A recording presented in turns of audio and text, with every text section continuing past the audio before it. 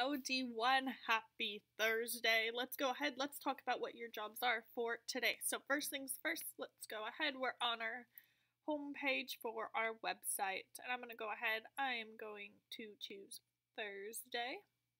It is October 8th and you can see we have our schedule right here. So first things first, we are going to start with our morning work.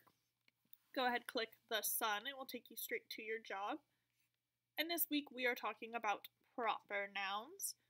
As always, Miss Lopez was so kind enough to put the um, video of a reminder what proper nouns are on this first slide. So if you're kind of like, oh, I forgot what a proper noun is, you have the refresher right here. But just to clarify, a proper noun is a noun that refers to something specifically by name. So it's going to be capitalized and it's going to talk about either a specific place, a specific thing, or a specific person. So you are going to be talking about specific people, not um, just something general. You're going to be talking about something specifically.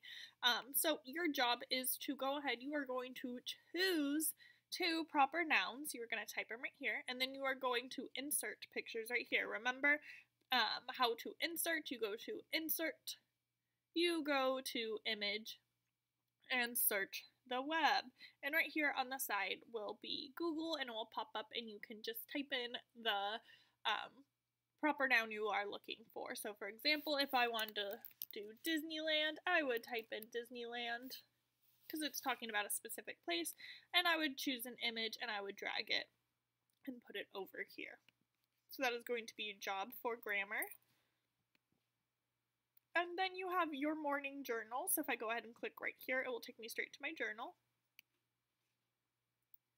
And today is my thoughts Thursday. So again, you're going to be giving your opinion. You're going to tell me um, your thoughts. So write your thoughts about fruits versus veggies. So you will have to decide which is better, fruits or veggies, and you have to tell me why. So you need a paragraph, number five to six sentences. You need to introduce your opinion, give me some reasons why, and then conclude with, you know, I think fruits are, and as you can see, fruits are better than veggies, or as you can see, veggies are better than fruits, and so on. So keep that in mind, but you are going to tell me what you think is better, fruits or veggies. I'm curious to see your thoughts on that. Then you have Zoom with your lovely teachers. We're so excited to see you. Uh, we're going to talk about dialogue and how to use them in our personal narrative. Then you're going to have Spanish. You're going to go ahead and click the Hola button to get there. And you're going to see it will take you right here. And you are going to press the blue button and it starts at 10 a.m. So we're going to end our Zoom a couple minutes early to make sure that you guys get there on time. So instead of 10, we'll end at that 9.55 time. Then you have a break. You deserve it after being on Zoom for all that time, so give yourself that break. Then we will have our prefix and suffix practice. This is a daily job. That means every single day. So you're going to go ahead, you are going to hop on, you are going to watch, you are going to listen to the prefix and suffixes as well as root words um, that are assigned to you so that way you can become even stronger readers.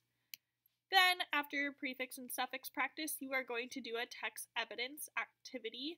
We will also be talking about text evidence during our Zoom today. So for text evidence, you are going to go ahead, you are going to click this green book right here. And it will take you straight to your text evidence read aloud. And you are going to go ahead, you are going to either read or listen to the story. Then you are going to have a slide two. It is very important that you pay attention, go to slide two and you are going to have jobs on slide two. So if I click on the speaker, it will read the question to me and it will give me directions for what I have to do. So for this activity, you have to answer the question, but then with the color that it's given you, I'm going to go ahead and zoom in. I need to go back. Oops. I need to go back to the first slide and highlight the information. Oh my goodness, it keeps sending me back. I need to highlight the information that helps give me an idea what arithmetic in red. And so you might be thinking, how do I highlight text? Well, if I go back to the classroom and I see this little video camera right here, it's going to show me a video of how to highlight text. And I recommend you watch this before you complete this assignment because it's going to help you and it's going to help kind of explain the job a little bit more clearly. So again, it's going to give you clear directions about what it wants you to do. So for what is the meaning of arithmetic as it is used in the fourth paragraph of the passage. So any information that helps you decide what arithmetic means. You're going to go over here, you're going to highlight it in red. And as I said in the video, be careful because this text is editable, so that means it can accidentally get deleted. So please, please be careful. You are not going to have to press delete at all, so do not press delete or backspace. You do not need to press backspace at all for this assignment. So do not press the backspace button. Don't press the backspace button. All right. Then after that, you have your personal narrative assignment, and we are going to be talking about dialogue. So you're going to go ahead, you are going to press the pencil, and what's going to happen is it is going to take you to a feed or to um, a Google form, and in this Google form, you're going to write your first and last name below, and then you're going to write two examples of dialogue you will include in your personal narrative. And in order to do that, you must include quotation marks, which we will talk about tomorrow. So make sure that you get two examples of dialogue um, to complete this job. Then you have lunch. After lunch, we're going to go ahead. We have a study guide for math. And so you're going to go ahead, you're going to click the symbols. As we talked about on Tuesday, you have assessment on Friday about addition and subtraction. And the one thing about Mrs. Walsh's blah, blah, Miss Walsh's study guides is that they are the exact same as the test. The only difference is the numbers, so keep that in mind. And then you will have an answer key as well. If I just click the key, it will take me straight to the answer key. Finally, you have i-Ready Reading and then cleanup. And that will be it for your day. So if you have any questions, please let us know. Otherwise, have a great rest of your day.